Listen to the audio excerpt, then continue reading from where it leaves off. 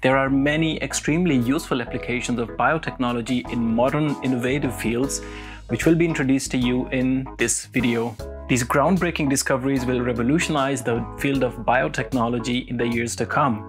And some already have in case of the vaccine development, for example, which, you, which we have seen during this pandemic.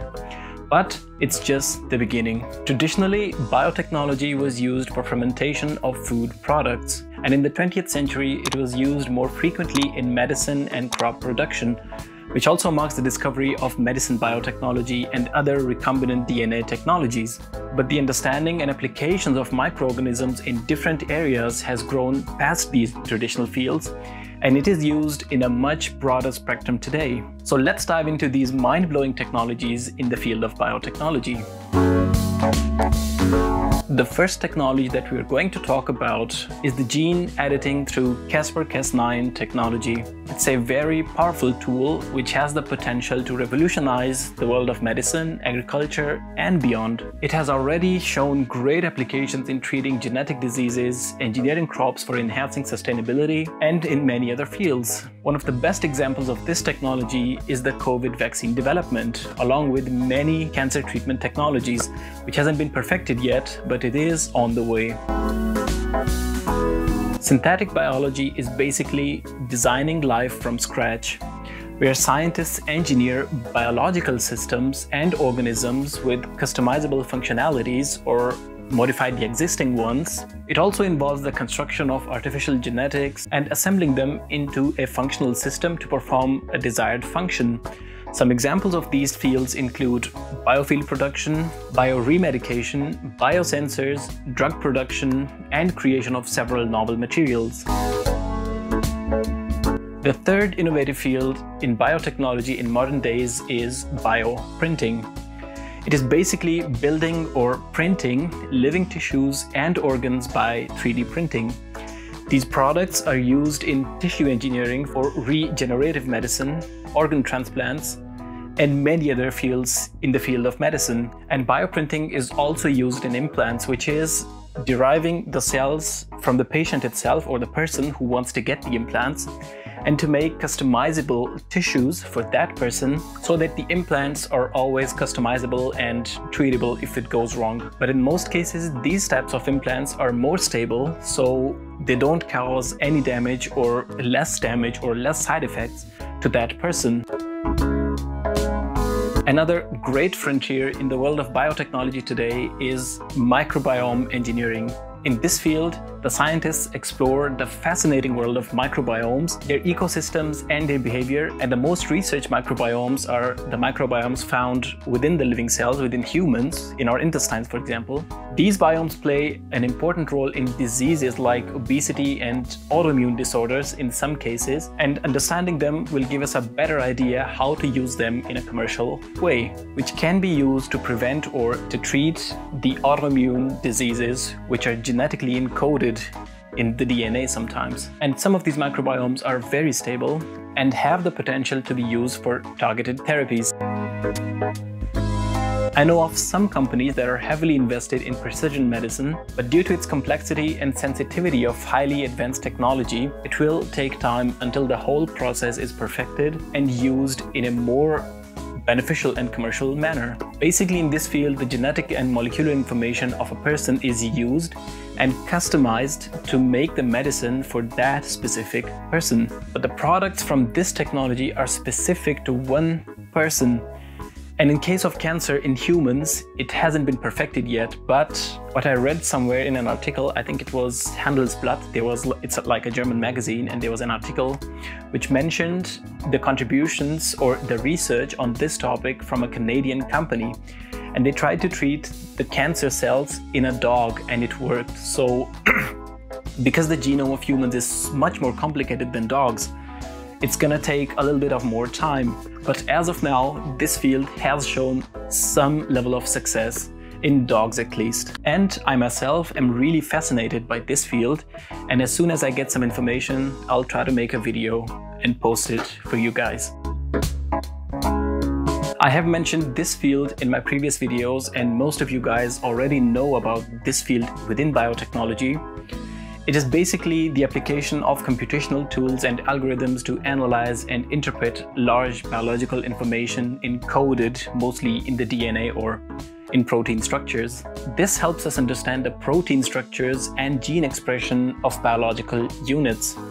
This can be used to discover new drugs. It can help us design genetic engineering experiments and to understand the structure and function of biological molecules that are in general too complex to understand. And just an FYI, we don't know everything about human or living cells and structures there are still things that are being discovered to this day. So there's a lot to unpack within the genetic coding or with epigenetics and many other structures. And the potential in that information, that unknown information, will help us make new products that will treat diseases which we thought are not treatable or are uh, more difficult to treat. So the benefits of bioinformatics can be huge and it is being developed as we speak. I made a video about a year and a half ago on like the new discoveries in biotechnology and bioluminescence was mentioned in that video as well. If you haven't watched the video, go ahead and click here. Basically in this field, the DNA of a illuminating organism is modified and integrated into a tree and a plant which makes them glow as a result of a biochemical reaction at nighttime. This could help us sustain the light at night times and automatically helping in the sustainability of at least some energy sources. As the total population of the world grows year by year, the production of crops must be increased as well to feed the increasing population. An innovative technology that maximizes the crop production in a limited space is possible through vertical farming. It is basically a method of growing plants in vertical stacked layers or structures, typically indoors or in a controlled environment it aims to maximize the crop production in a limited space by utilizing that vertical spacing instead of like spreading it horizontally, which requires usually much more space. The main advantages of this technology include the usage of small space with minimal uses of resources, little to no risks of crop destruction by natural disasters, for example, and it gives us the possibility of automation for this whole process. And as a result, we get an increased production of crops as compared to the traditional farming. I find this field to be very intriguing and extremely fascinating.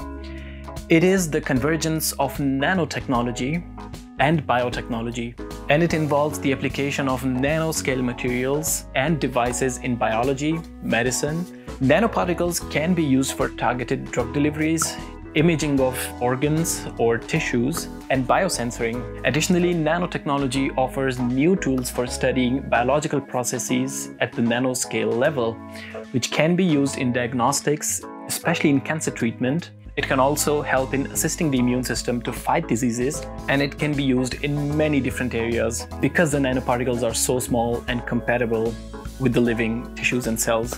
And another great usage of nanoparticles in nanobiotechnology or nanobiotech medicine is the marking or tagging of unwanted cells or particles within living organisms. For example, if there's a cancer cell in a human, let me put it this way, cancer cells or um, cancer particles are detectable for now when they're already grown to a certain you know size or sometimes it's already too late or we cannot identify individual cells that have you know turned into cancer cells. But nanoparticles have the ability to flow in the bloodstream and attach to cancer cells and identify each individual cancer cell. And the development of nanoparticles hasn't been perfected yet but it is along the way it will take some time but at some point, we will make or discover particles that have the ability to do that. So that way we can identify cancer cells, individual cells, and be able to treat them eventually.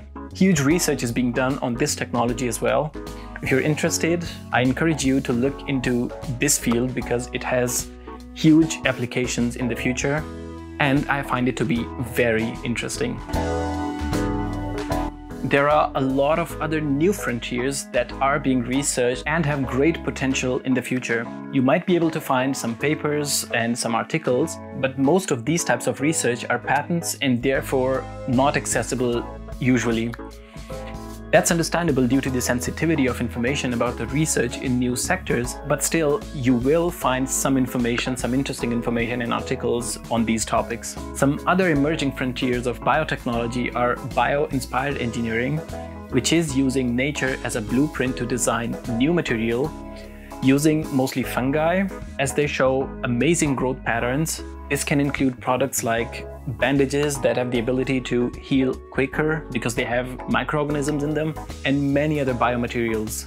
You can also look into the new fields that you're interested in. I'm sure you will come across some topic that will change your career direction. And besides, I think it's always interesting to know about new emerging fields within the field of biotechnology. And sometimes it wakes an interest within yourself you didn't know you had. So looking into these new fields can be beneficial, or if not beneficial, at least interesting. So I encourage you to do that for yourself if you want to. Thank you for watching this video. Remember to stay curious and keep exploring the world of biotechnology. And don't forget to like, subscribe, and I'll catch you guys in the next video.